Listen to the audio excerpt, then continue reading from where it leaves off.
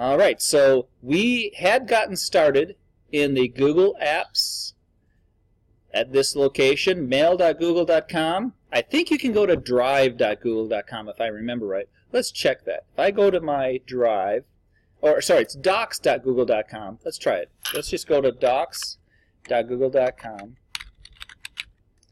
and hit enter. And I think if I'm already logged in with with my email, yep, my little icon of my face will show up there. And now I can search, if I have multiple folders, I can search for CS101. And I have lots and lots of folders. And I should have a folder called CS101 somewhere here. Uh-oh, it's giving me... I'm looking for my folder CS101. It's not giving me the nice view that I have when I go here from my Gmail. Let me let me go into my Gmail and find it better. I'm getting I have a better page there. So I'll go to mail.google.com and go to the array of activities. There's the drive. Slightly different view where I can see on the left my drive, my shared files, uh, some other files I keep up there, and now I can search my drive for CS101. There, there. I'm at drive.google.com. I, I guess I like the interface at drive.google.com. And there's my CS101 folder with all the years ever since 2010 been using these Google Docs. There is this course and where's the assignment? Oh, or is in that untitled document? Let's try this. This might be it. January 15th. Let's check it out. Yes, it is. There's the assignment. I better put at the top of this I'm going to call this uh, Google Docs Docs assignment. Get the spelling right. By, and then put your name there. Never hurts to put extra information to make it clear what this is and get things spelled right. The red squiggly show up. So far, I think last time, I think we got to publishing your document as a web page and we did the file publish to web. We got to number six, and I think we had just kind of started onto uh, the actual sharing the document. Let's just review how you publish a document. Not there. Here. Remember the name? I can always click up there to change my name of the document. To publish it, remember we go under File, Publish to Web. If I zoom out a little bit, you'll see that published to web. And if it's already published, it'll show me, oh, you already have a link to it. And remember, if I zoom out just a little bit more, Control minus lets you zoom out a little bit. I'll zoom out just a little bit more so I can see that whole page. I can start or stop publishing there. I can check whether or not to automatically republish. I don't know why you wouldn't automatically republish if I make changes. So we've gotten that far now. And remember, if I publish it, then I have the link right there. I can copy, select that, Control C copies it, and I can put the link anywhere in this document so I can verify that that link is working. And look at that long, ugly link. If I want something better than that, remember you can always select some text and then click the little chain and paste the link there then you'll have something that takes you to that long, ugly looking link with just some words that they just click on. It becomes a link to that document. Very handy, especially if you're sharing a large document. You don't have to attach it. And remember, if you're attaching it, you have now have another copy just to be confusing. Which copy is the one that's the good one? Well, when you just share the link, and, eh, and what's cool about Google Docs, if someone else is looking at this link, they will appear up here, I believe, and will show as people viewing that link. So if I click there and view it, if anyone else is on this viewing this, I, well, maybe it only does it for docs. I forget now. I know for docs it shows you whether someone else is looking at that link. So let's go to the next thing. We've shared it as a or published it as a web page. And remember as a web page, it just looks like something that they cannot change. It shows a little link at the top or a little uh, message at the header that what's the name of the file is. And I think down at the bottom of it, it says published by Google Docs at the bottom of the page. Let me shrink this page down a little bit to see that. way down at the bottom of the page, it'll show, or used to show, huh. All right, let me grab the slider. There we go. It shows published by Google Drive. You can actually have your own personal website, but it's not going to be a very readable website. It's going to be this long link. We'll go create a site in a second. So back to this document. Notice I'm viewing it as a web page. Now I want to go back and view it as a Google Doc. And we want to share it as a Google Doc now. Yes? Oh, sure. So first thing I do, I go and do a publish to web, and I can then click on that link and do Control C copy. And then I close that. And if I want to make any text a link to something, sure. So File, Publish to Web, and see you have that link up there in the Publish to Web. You just click on that link, and see how it got selected. It turned dark. Control C will copy it to what we call the clipboard, copy it into temporary memory. Now I can close that. And now if I want to make a link to that anywhere, like here's the, I'll, I'll just uh, click some text here. Document as a web page. I select through the text, and I can click the little chain, and Control V, paste that link, and then I click apply, and now I have a link to that document as a web page.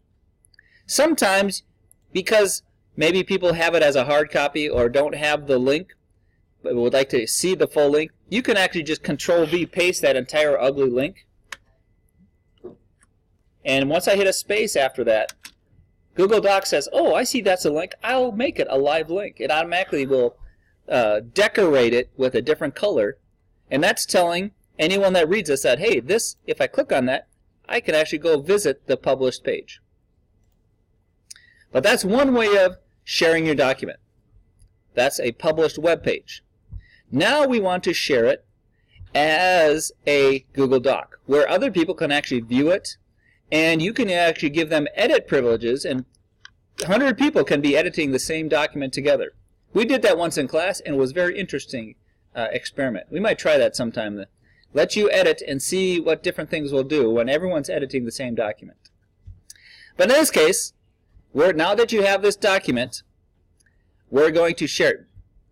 Oh, and you're learning to use Chrome now, right, Emmanuel? Yeah, Chrome behaves a little better here and there with Google Docs. Okay, so we're in our Google Docs. Go ahead and log back into your Google Docs. I'm in the doc. This time it's a little more obvious. When I want to share it as a Google Doc, that's your upper right, share the document.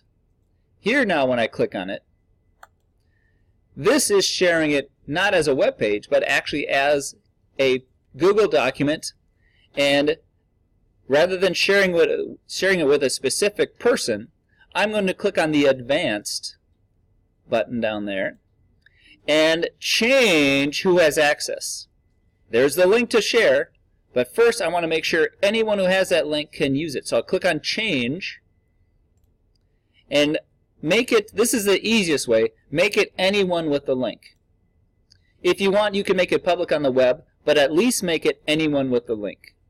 The thing about public on the web is someone decides to search for CS101 cloud assignment, they would your your document will actually show up in the search results. Sometimes you like that. Anyone with a link means it's not going to be showing up in Google's search engine, but all you have to do is give them the link to your document and they can come and view it Notice down here, by default, anyone can view it. If you had a completely public document, you could say anyone publicly can edit that document. That would also be a very interesting experiment. And depending on who sees that link, you might get some interesting things showing up on your pages. So I do not do view unless or do edit unless I'm sure I trust people and it's a document that's in case someone malicious gets it, I, it's not going to hurt me. So anyone with the link can view, and now I click Save. There's the link. Looks just like any web page link. Let's copy that and click on Done. Notice these other options that I haven't messed with, but you can actually keep people from if they have edit access, you can't give them, they don't have permission to give editing to someone else. And you can even make it a little harder for someone to actually download the document. I'll bet you if they really wanted to, they could somehow find a way, if at least getting screenshots of your document. This just makes it a little harder to uh, download, print, or copy. So I've clicked Done. Now that link to the Google Docs, let's just put it right here uh, underneath that line. If I hit Shift Enter, or is it Alt Enter? Shift Enter keeps it in the same numbered instruction, and I can Control V paste that long link, and then hit a space bar. Google Docs automatically knows to make it a link. If you view that link, you will see that it looks just like I've have, I have opened it in Google Docs. And because you're the owner, you'll have edit privileges. But anyone else that viewed this, they would still see the ribbon across the top, but they wouldn't be able to make any edit changes. And another cool thing about it, when they are, are viewing it, you will see their little user icon showing that they're viewing your document together. So this is a great way to collaborate with people across the internet. Say you're discussing something and you have plans. Share it as a Google Doc. You can share it to specific people. You can always come back here and, and share it to specific people that can actually edit it. And while they're viewing it and editing, you can see the changes live.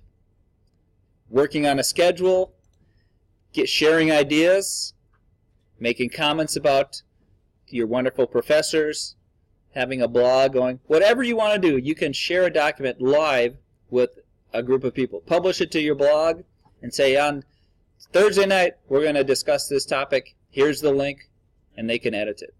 Very handy for discussion. So that's the part of the Google Docs. Now we're going to go on to even more exciting things in the cloud. We've shared it as a web page. We've shared it as a Google Doc. Now, create a personal website. How do we do that? Well, remember back in the drive or in your email, you have that grid of apps. Back in your grid of apps, notice there is a sites item in your application grid. There's lots of other things that you are welcome to play with, such as Hangouts, or Maps, or slides, contacts, but we're going to just take a look at that sites. Click on sites, and now I can come to a, a way to create a website in Google Docs. Now, I'm not sure if you have a regular Google account. Spencer, is that showing up in your regular Google account sites? Does it have that? Okay. Because I, I think in a generic, I don't know if generic e, uh, Gmail allows you to do sites. Okay. So to do the sites, and what they would be, they would actually be a site underneath our Emmaus.edu in Google Docs. You can pick or click create. Actually, let's go ahead. Let's go to, if you don't, I think you already may be at new Google Sites. I'm going to go to new Google Sites so it looks the same as yours. Now that I'm in new Google Sites, uh, let's see here, I can, in my menu, I can, I was looking for, oh there, the little, little plus at the lower right, that lets you create a site in the new Google Sites page. I click plus, and now I can choose a particular theme for a site. Over here under themes, Pick whatever theme you like. I don't have a lot of choices for themes. And don't worry about spending a lot of time on picking your theme. Just get a taste of how easy it is in Google in the cloud here to create your own personal site. There are lots of places where you can create sites. And let's see, I think in the instructions here, I may have given an instruction of what to name your site. Uh, create a personal website. Yeah, name it CS101-your last name. All right, so go back to that site. I'm going to call it CS 101. And since I have many of them, I'm going to make mine SP 2020 dash last name, Manning. And that shows up as my name. Whatever you want to put for your site title.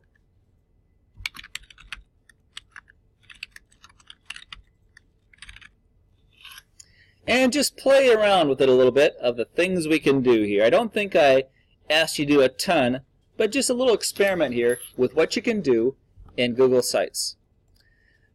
How many of you actually have a, a site of your some content? Do you have a blog? Anyone have a blog or a site of any sort? You can, uh, if you're doing any kind of plans for interviewing for a future job, actually having a portfolio like this is something that more and more employers are expecting. It may be your Facebook page if you have if you publish that, but I would recommend if you're doing anything uh, that you have some significant work you've done at school that might be something dis to discuss at an interview. When you're even filling out a resume, you could have established a little site that just kind of is, has an example of your work, the things you enjoy. Think of it as beyond your resume. Wouldn't hurt to even have a resume online. That would impress someone that is expecting some computer skills. If you said, oh yeah, here's my link to my resume, they would right away assume, oh, you've got computer skills. You know how to you know, build a website.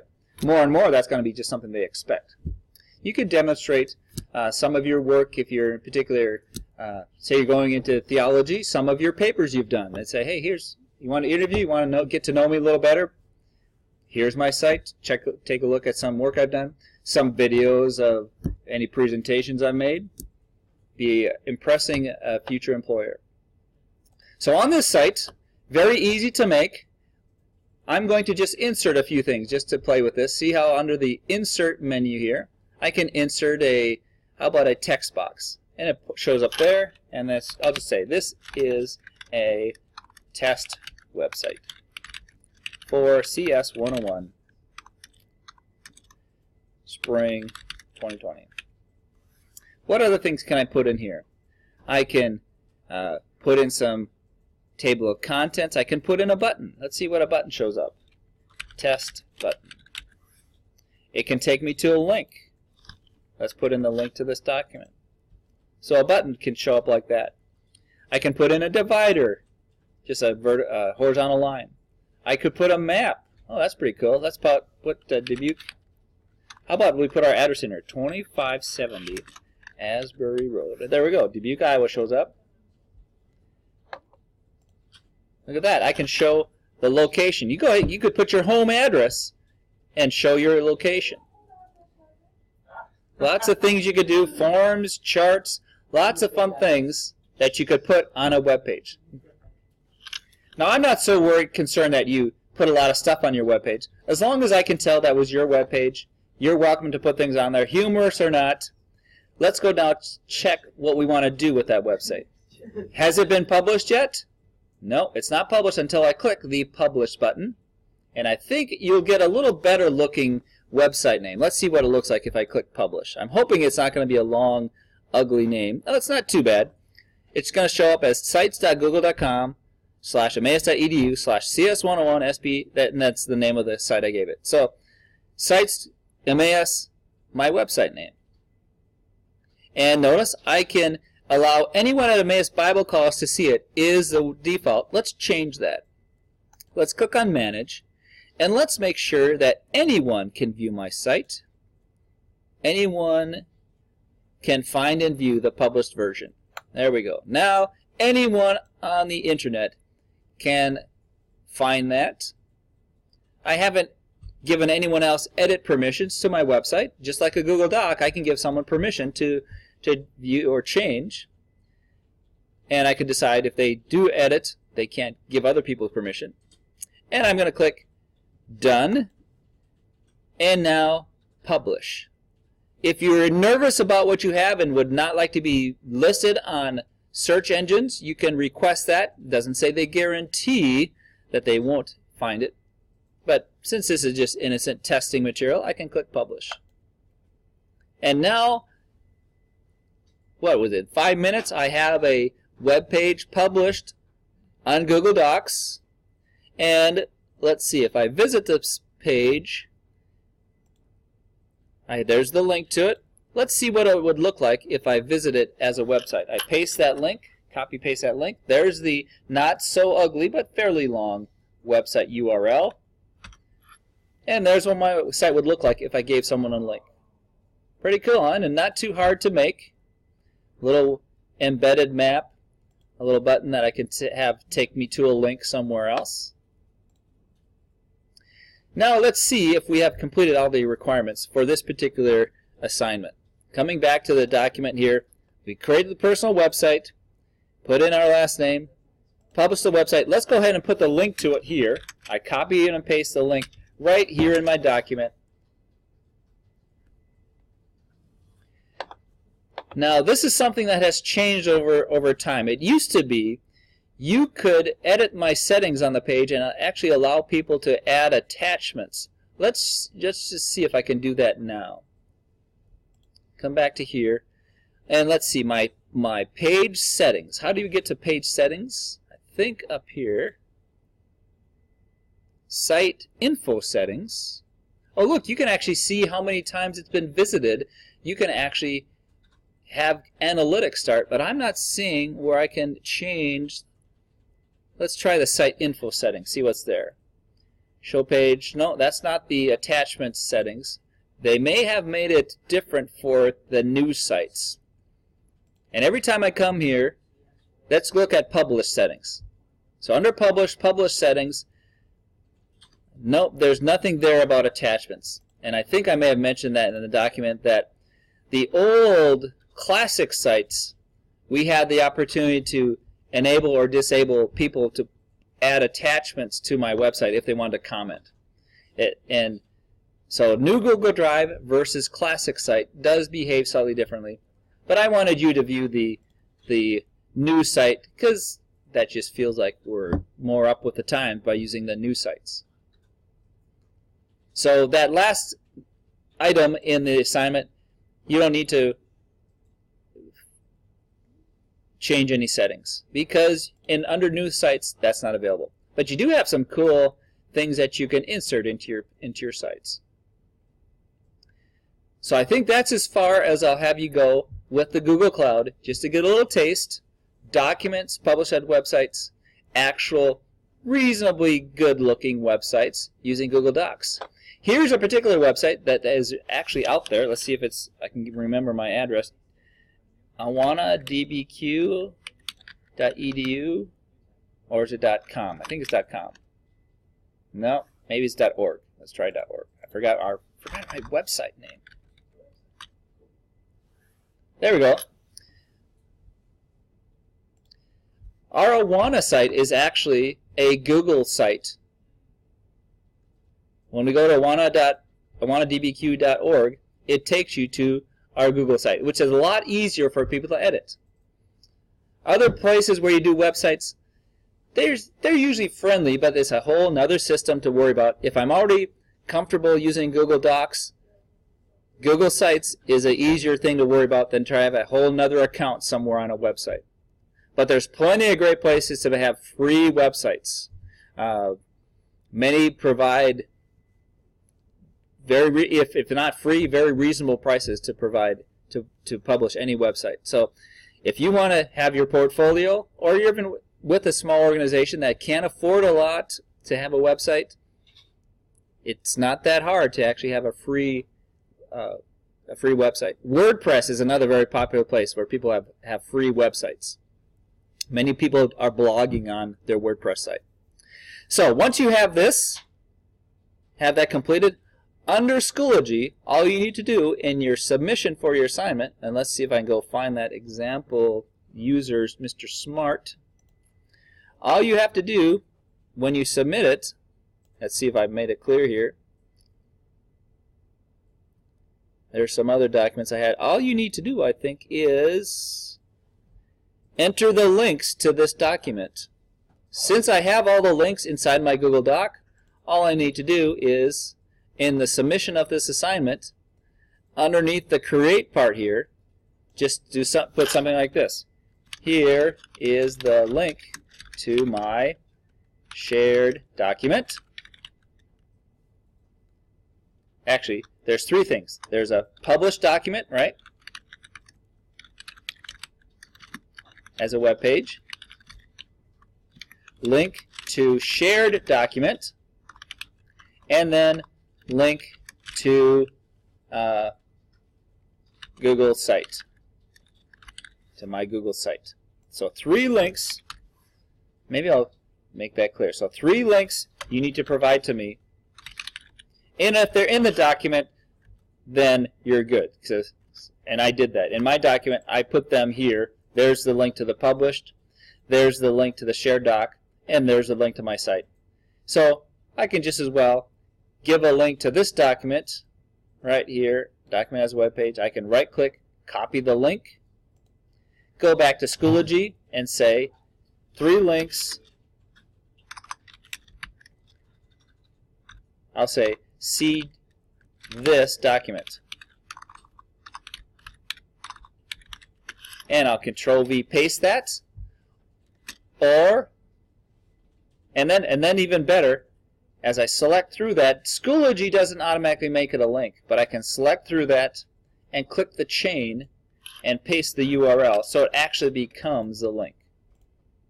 Let me show you that again. I have the link to it by going over to here and I can right click, copy the link URL, come back to here. I could select some text or just paste the text of the entire ugly link. Select through it, clicking and dragging, click on the chain, and make it a link. Now I have a link that takes me to that document that contains the other links to the shared as a document and to the Google site. If you'd like, you can put the links to the site here as well. But if, as long as those other links are in this document, I'm happy with that.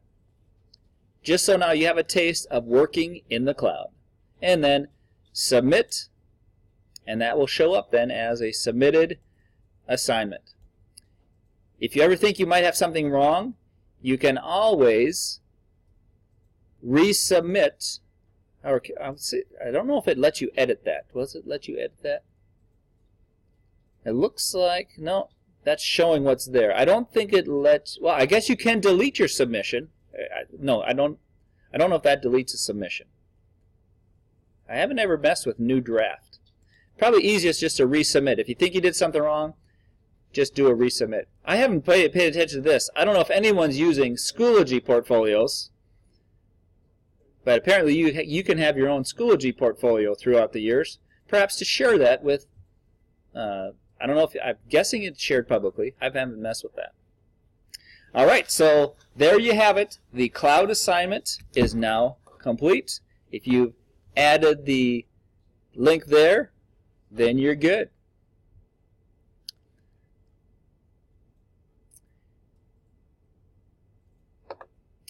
I think I'm going to stop my recording there